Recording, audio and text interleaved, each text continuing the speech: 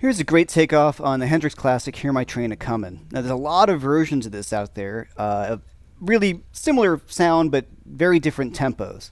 And uh, I took a little bit of a brighter one because uh, I like that one. Now, a fun way that he starts it off. Uh, first of all, I should mention I have a Univibe on. That's that awesome Hendrix guitar sound.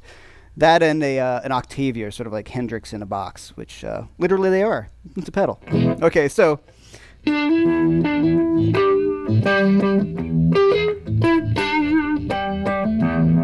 Now, E minor pentatonic, and what I like about this tune in particular is we're adding in the G sharp to kind of brighten it up. A lot of times when we're playing a, a bluesy rock thing, we play, we don't play the third. We kind of play a flat third and tweak it a little bit to keep the tonality ambiguous. And here we're actually sounding that G sharp, which is the third of the chord to make it kind of happy, which I think is awesome. So.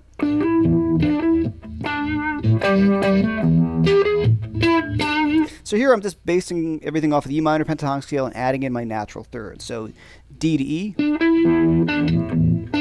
kind of pedaling off of that low E string. Now slide down to the G. Now here I have that G to G sharp, which is that really cool flat third, natural third sound. And I'm going to play off of that until the band kicks in. I can do. I can bring it down an octave, which I know he does in other recordings as well. So there's that G to G sharp, E to D. All right, now the main riff. Uh, right off an E minor pentatonic scale. Classic blues lick dating back to, you know, Albert King, Albert Collins. Uh, let me play the main riff.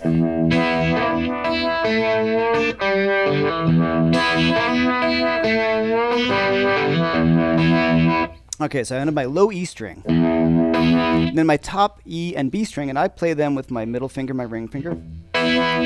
Now I'm going to slide in with my second finger, fingering is important on this. I'm going to slide in with my second finger up to the fourth fret, so A to B. And I'm going to grab my D on top.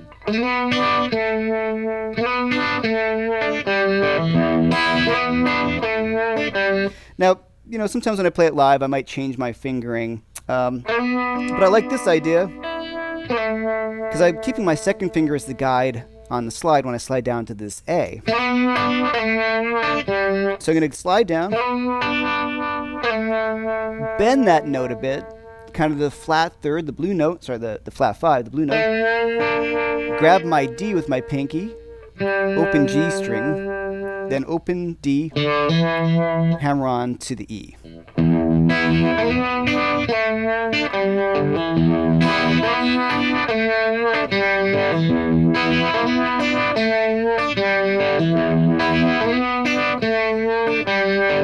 Now there I changed my fingering because sometimes I will. Now one thing that I, I'm pretty sure Hendrix is doing is bending behind the nut, which is kind of easier to do on a Fender style guitar, and pulling up that G, kind of the G sharp. And to me, this is the coolest part of the whole thing.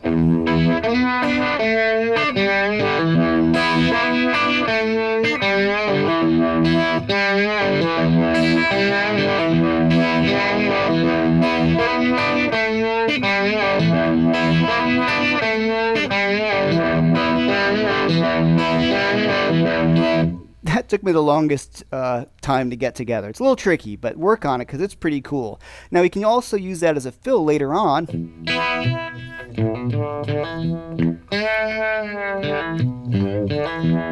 Where on the verse, I'm just kind of playing off the E minor pentatonic scale. All right, so now that's what happens next. We bring it down.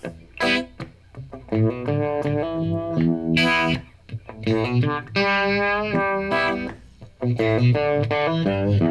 just kind of riffing off of that E minor pentatonic scale. We have that hit on the downbeat, and now.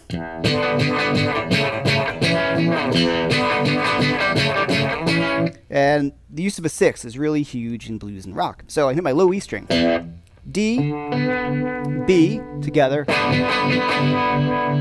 that great univibe. I'm going to slide it down a whole step, both notes. And here I always use my first finger as my guide on my sixth. That's the one that stays the same when I change my other fingers. And I have a C sharp and the A. Now I bring that up to E and C sharp. So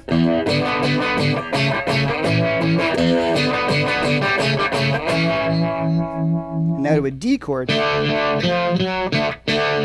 So I'm going to play like a D power chord using the open strings. Open D, D again, and A. And I bring up my, my uh, second finger. I could finger it. You have to kind of drop that note at some point to get those other to the F and the F sharp. And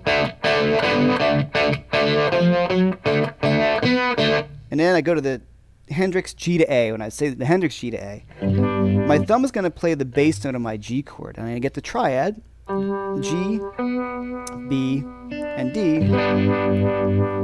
and then I can slide that up a whole step, as opposed to getting a little too big sounding. And what I can do is throw in my pinky, and it gives me the 13th of the chord. I can bounce off of that.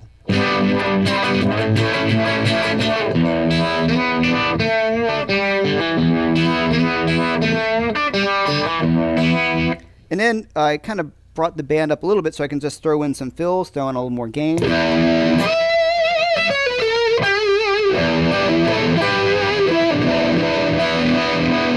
And back.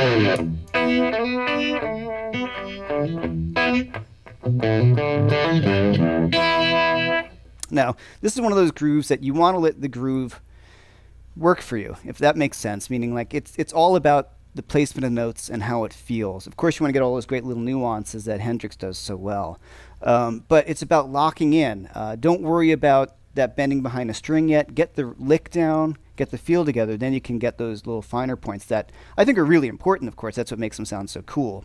Um, Univibe really helps on a tune like this. I just think it adds just a really nice texture. Uh, obviously, Hendrix did too because he used it quite a bit.